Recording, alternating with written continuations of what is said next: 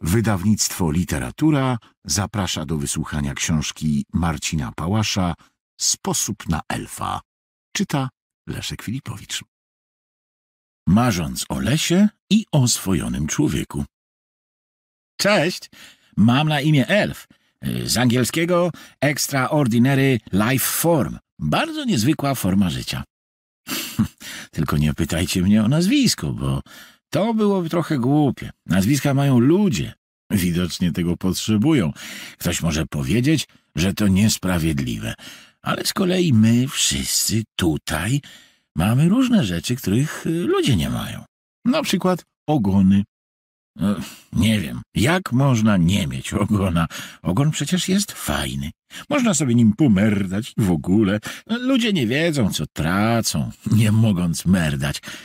Poza tym ludzie są prawie łysi w porównaniu z nami. No i zęby też mają nie takie jak trzeba.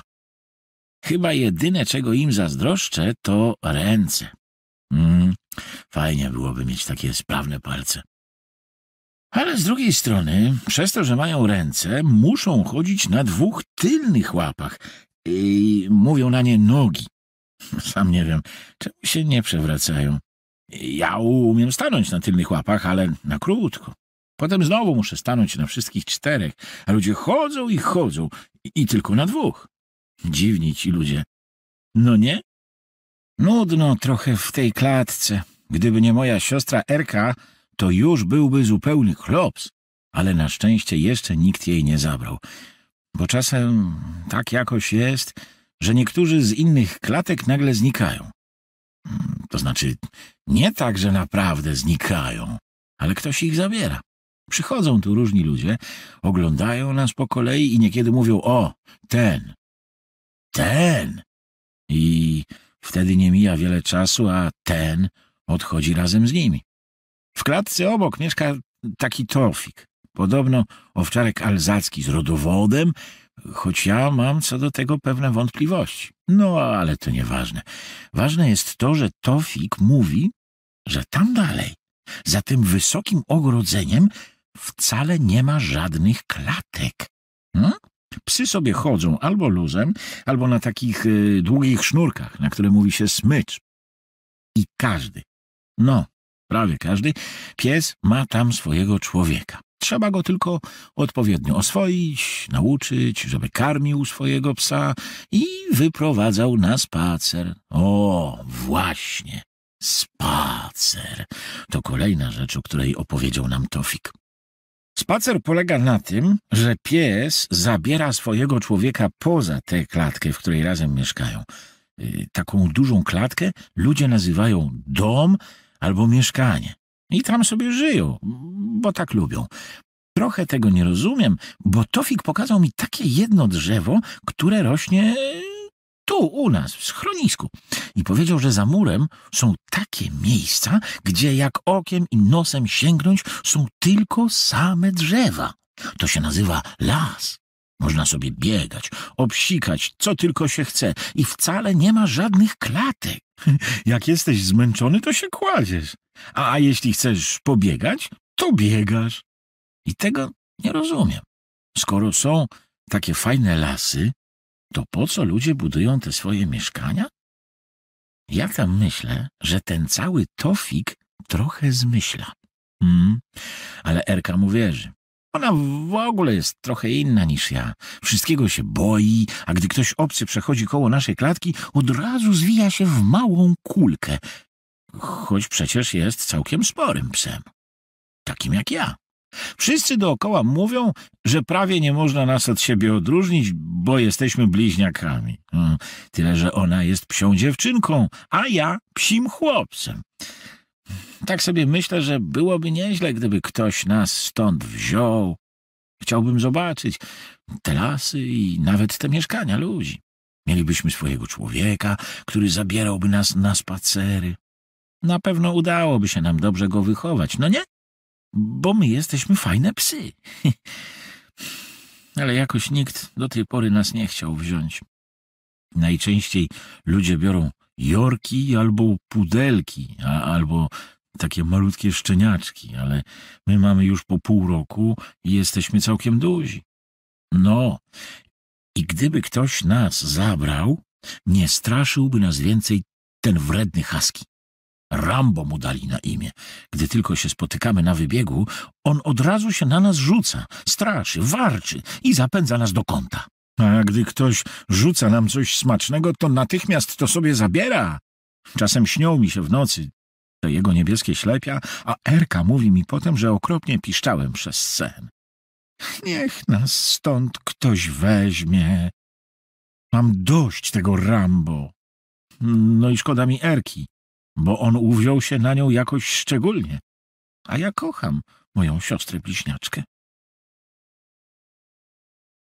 Przeprowadzka, nowy pomysł młodego i pewien niezwykły sen. Więcej tych książek nie miałeś? Warczał gniewnie młody, taszcząc po schodach kolejne dwie reklamówki wypełnione moimi ukochanymi książkami, których w żaden sposób nie umiałem się pozbyć. W dodatku sadystycznie wybrałeś mieszkanie na ostatnim piętrze, czyli zaledwie drugim. Zauważyłem ostrożnie, sam obarczony kartonem z talerzami oraz monitorem do komputera.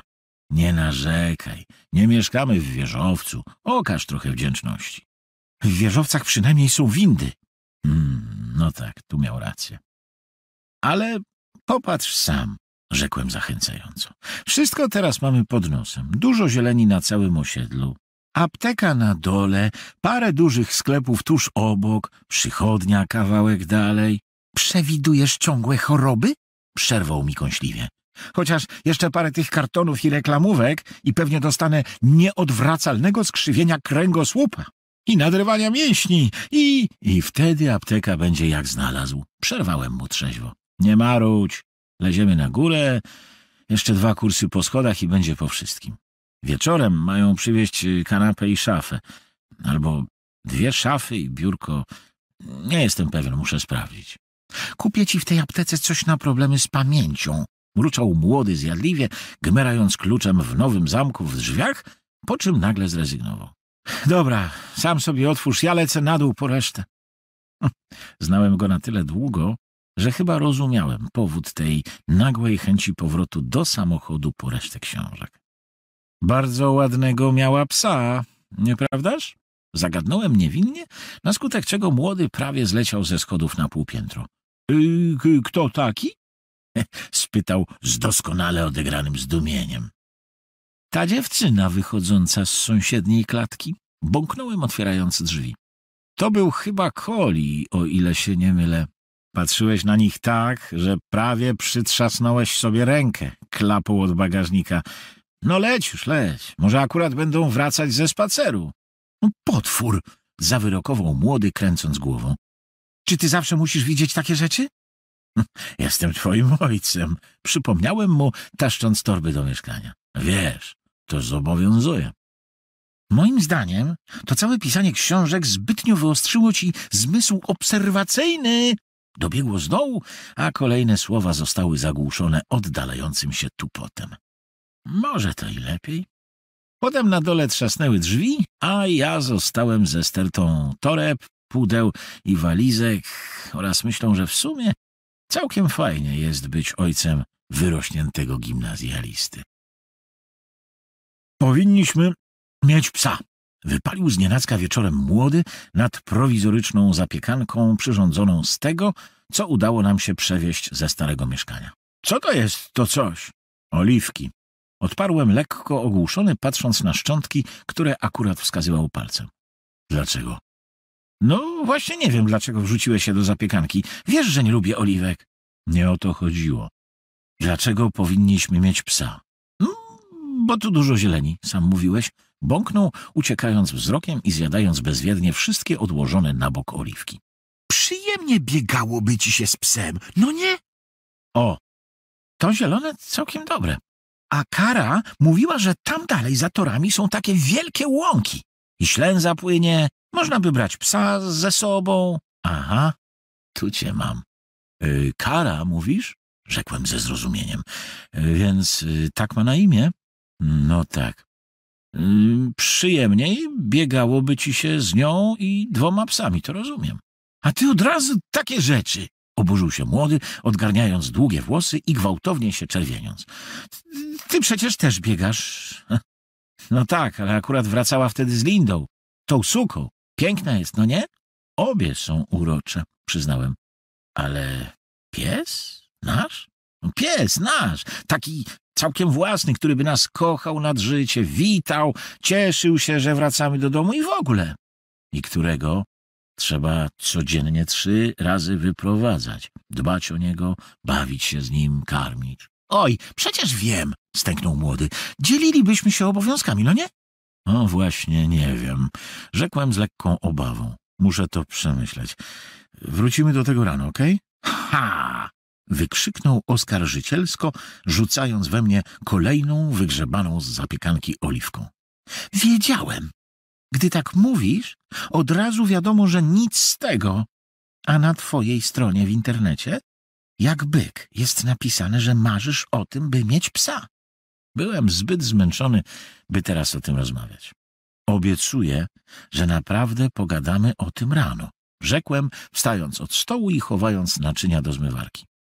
Faktycznie, marzę o psie, ale po wniesieniu kanapy i twojej szafy chwilowo mam dość. Mięczak!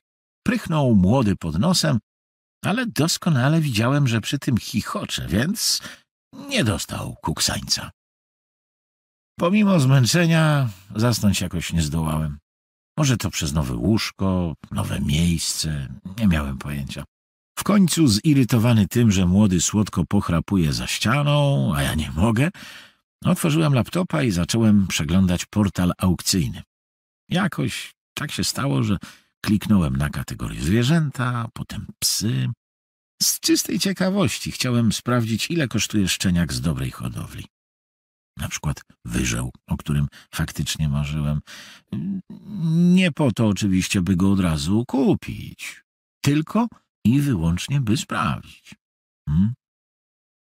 Chwilę później zamarłem i prawie straciłem oddech na widok wpatrzonych we mnie z ekranu orzechowych oczu, spoglądających na mnie lękliwie spod wielkich uszu. Zapatrzyłem się w rozmarzony i lekko smutny wyraz psiego pyska i pomimo tej melancholii w jego oczach dostrzegłem jakąś taką iskierkę, takiego chochlika, takie po prostu coś, że nie mogłem przestać patrzeć. Gdy odrobinę ochłonąłem, przeczytałem opis aukcji. Czyli to żaden rasowy psiak. Hmm. Ze schroniska za symboliczną złotówkę? No dobrze, niech będzie. Na innych zdjęciach stał, biegał, nawet pływał. Prześliczny, sześciomiesięczny psiak w typie owczarka niemieckiego, ale dużo smuklejszej budowy, w dodatku z tymi niesamowitymi uszami. Zaś chochlik w oczach był widoczny niemal na każdej fotce. A w dodatku psiak miał na imię Elf. Wpadłem po uszy. Dosłownie się zakochałem. Przepadło, koniec i kropka. Elfie, będziesz miał swój własny dom. Tylko co na to młody? Obudziłem się w środku nocy pełen jakichś dziwnych, niezwykłych uczuć. Erka uniosła czujnie łeb, ziewnęła i spojrzała na mnie z niepokojem. Znowu śnił ci się Rambo? spytała cichutko i ze współczuciem. Nie, pisnąłem. Nie wiem nawet, jak to opowiedzieć. Rzeczywiście, sen był jakiś niezwykły. Wielka łąka, sporo drzew w oddali, a ja biegłem przed siebie, pędziłem, skakałem i byłem w tym śnie tak szczęśliwy, jak chyba jeszcze nigdy wcześniej. Ale wiedziałem też, że obok jest ktoś ważny, kogo muszę strzec i pilnować i troszczyć się o niego. Kto to jednak był? Nie miałem zielonego pojęcia psiakość. Nic nie rozumiem. Mruknąłem w końcu, ziewnąłem, zwinąłem się w kłębek i znowu zasnąłem.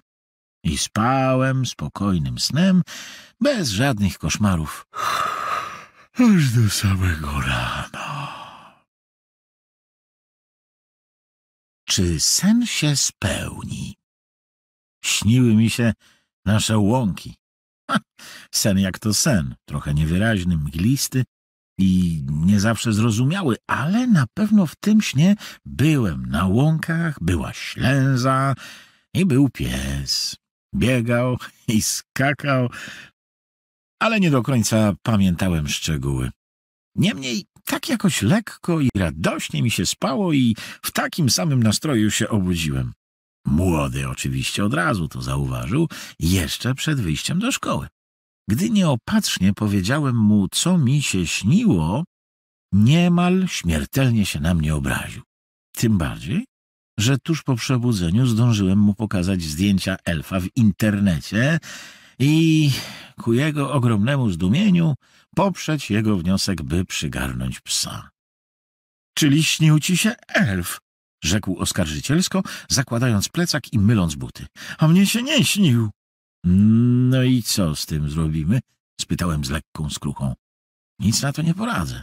Bezczelność! Oświadczył, trzasnął drzwiami i tyle go widziałem. Po chwili drzwi się otworzyły jeszcze na pół sekundy.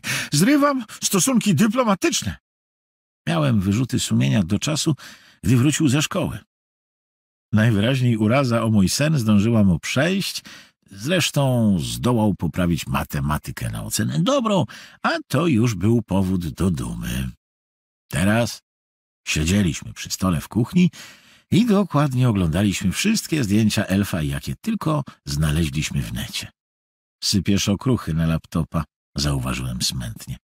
Istotnie nie mieliśmy wczoraj już czasu kupić świeżego żytniego chleba, który uwielbialiśmy. Młody musiał się więc zadowolić prawie czerstwą bułką z masłem i ogórkiem w plasterkach. Podniósł na mnie roziskrzony wzrok i machnął kanapką tak, że plasterek ogórka odleciał i przylepił się do lodówki. Ej, on jest super! wykrzyknął. Moja uwaga o okruchach i laptopie najwyraźniej w ogóle do niego nie dotarła. Albo uznał ją za mało istotną wobec perspektywy posiadania psa. Taki śmieszny i nawet na fotkach widać, że wesoły. Hmm. Czyli ta lekka melancholia w psim spojrzeniu była tylko moim wymysłem? Hm. Może akurat byłem tak zmęczony, że niewyraźnie widziałem te zdjęcia w nocy. Zadzwoń tam od razu, mówił młody, stukając gorączkowo na klawiaturze. Żeby nikt go nie wziął. Broń Boże, on musi być nasz. I ja już piszę Olkowi, że będę miał psa. Będziemy, wtrąciłem dość beznadziejnie. Będziemy mieć... Nie, będziesz. Tak, tak, przerwał mi niecierpliwie.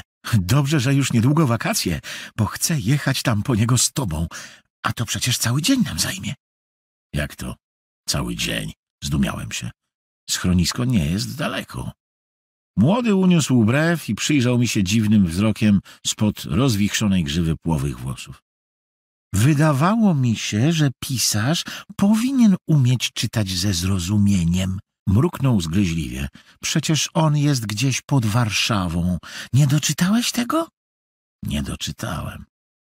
O mój Boże. Że co?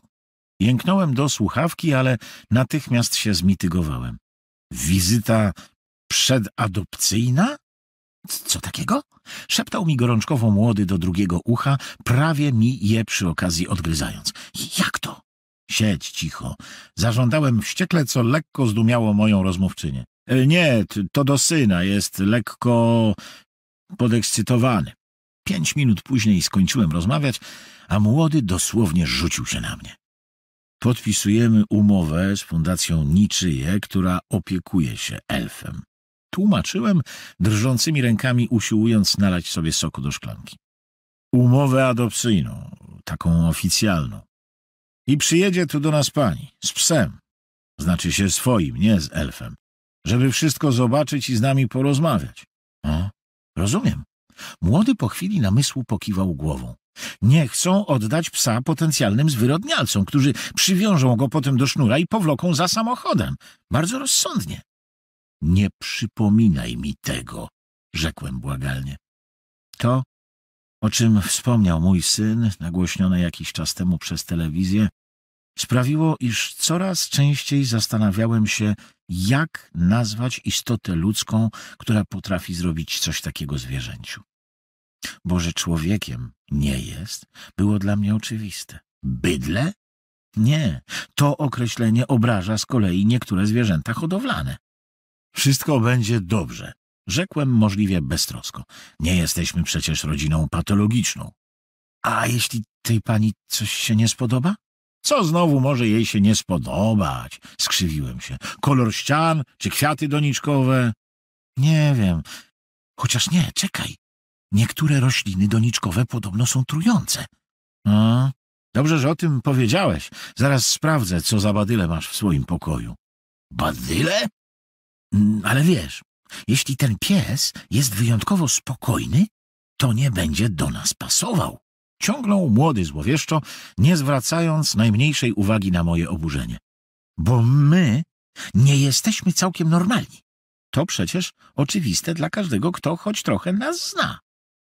Nasze dziwne poczucie humoru postaramy się trzymać na wodzy. Zrozumiano? Zażądałem surowo, uznając, iż młody ma trochę racji. Nie martw się na zapas, będzie dobrze. Jasne. Rzucił młody zgryźliwie, odbierając mi karton z sokiem.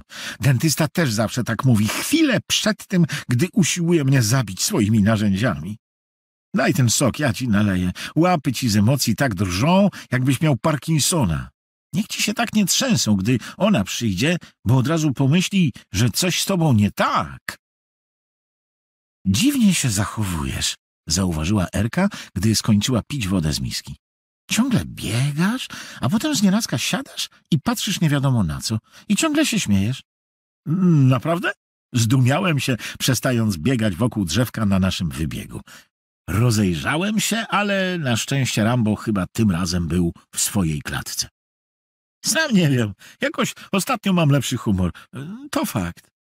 Ty zawsze masz dobry humor, szczeknęła krótko moja siostra. Prawie każdego lubisz, ciągle się bawisz, ale trzy ostatnie dni to już lekka przesada. Stało się coś, o czym nie wiem? Hmm. Zastanowiłem się. Przecież nic się takiego nie wydarzyło. A w dodatku z jednej z klatek zniknął koral. Fajny, spokojny mieszaniec dalmatyńczyka i amstafa. Hmm, to jednak powinien być dla mnie powód do zmartwienia, bo koral zawsze starał się bronić nas przed napadami złości, które miewał Rambo. Teraz jednak zabrali go ludzie nie wiadomo dokąd, a ja rzeczywiście miałem coraz lepszy humor. Nie wiem, Erka, przyznałem, drapiąc się za uchem. Takie mam fajne sny ostatnio, że to aż dziwne.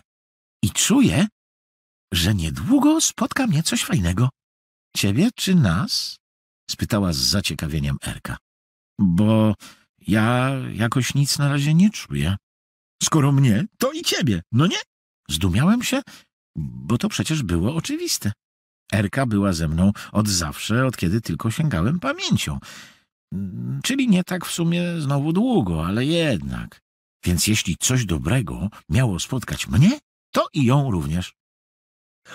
Ech, no, zobaczymy. Ziewnęła i też się podrapała. Bo trochę to nudno, gdy nie ma korala. Nie uważasz? Coś ty tu przytargał? Spytał ze zgrozą młody, gdy wszedłem do domu późnym wieczorem, wracając ze spotkania autorskiego z czytelnikami we wrześni. Co to jest? Yy, miski na karmę i wodę. Wysapałem, stawiając na podłodze w kuchni dwie ciężkie torby. Yy, kilka zabawek do gryzienia i rzucania i worek karmy. Podobno taka najlepsza. Wiesz, że u nas też są takie sklepy? Ale we wrześni, koło rynku, trafiłem na sklep zoologiczny, wszedłem i nie mogłem się oprzeć. Myślisz, że elf lubi ryby? Mm, lubi, oświadczył z zaskakującą pewnością siebie. Ktoś tam e, wziął go na spacer, a on zanurkował w jeziorku i wyłowił żywego karpia czy jakąś inną makrelę. Czytałem o nim na forum, na Dogomani. Masakrator, rzekłem z podziwem, czyli lubi ryby. Bardzo dobrze, bo karma jest na bazie czegoś, co nazywa się gromadnik. Taka ryba podobno. Dobrze, że nie na bazie pałasza, zachichotał młody, bo pałasz to też gatunek ryby. Wiedziałeś o tym w ogóle? Głupio by było, gdyby zjadał cię na obiad.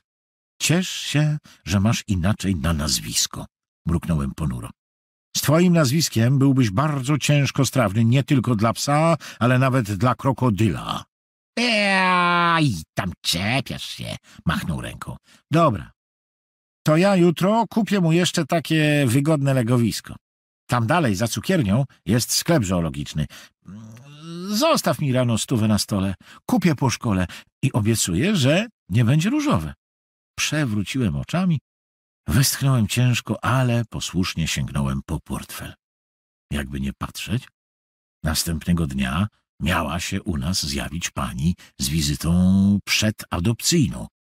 A jeśli dobrze pójdzie, to już pojutrze elf będzie u nas. Okazało się bowiem, że akurat do Wrocławia z Warszawy będą jechać ludzie zajmujący się psami. Fachowcy, którzy z chęcią wezmą elfa w specjalnej klatce podróżnej jedynie za zwrot kosztów paliwa. Z radością się na to zgodziłem, bo znając siebie, nie wiem, czy byłbym w stanie bezpiecznie prowadzić auto, mając świadomość, że z tyłu jedzie nowy członek rodziny, bo przecież pies to członek rodziny. No, to było dla mnie oczywiste. Pomocne by było podczas jazdy posiadanie dodatkowego oka z tyłu głowy, a jeszcze lepiej takiego na wysuwanej szypułce. Niestety natura nie przewidziała, że kiedyś będę miał jechać autem po psa, więc dodatkowego oka nie miałem. Zaraz. Pojutrze? Mój Boże, to już? Jupi! Dzień, który w końcu musiał nadejść. Już sam fakt, że kawałek czegoś dziwnego w misce z jedzeniem okazał się bardzo gorzki, powinien dać mi do myślenia. A nie dał. Potem wokół naszego boksu kręciło się sporo osób, patrząc na nas i wymieniając rozmaite uwagi.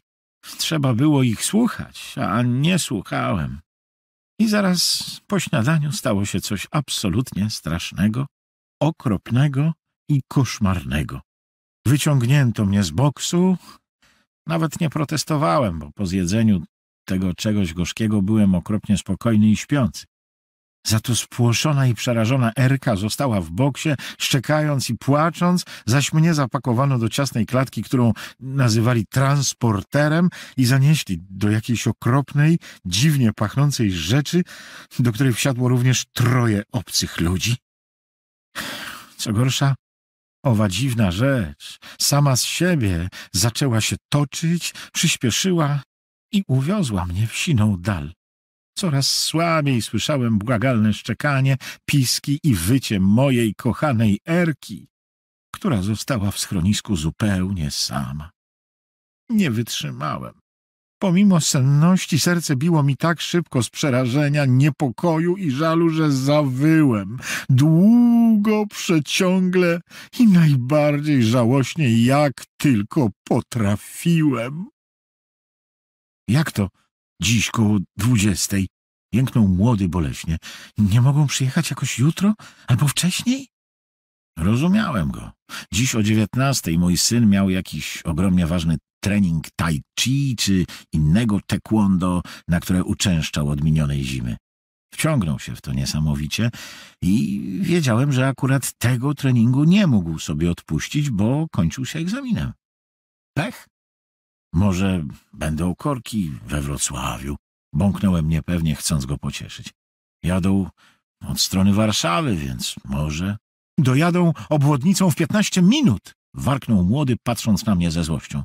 Otworzyli tę całą głupią obwodnicę tylko po to, żeby mi życie zniszczyć, czy jak?